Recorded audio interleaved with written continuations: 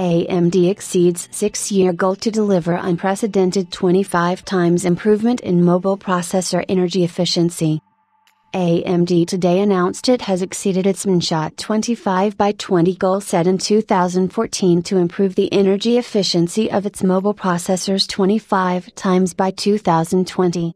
The new AMD Ryzen 7 4800H mobile processor improves on the energy efficiency of the 2014 baseline measurement by 31.7 times 1, and offers leadership performance too and extraordinary efficiency for laptop PCs.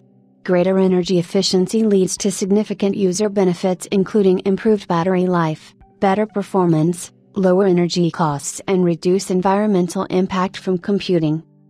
We have always focused on energy efficiency in our processors, but in 2014 we decided to put even greater emphasis on this capability, said Mark Papermaster, Chief Technology Officer and Executive Vice President, Technology and Engineering at AMD.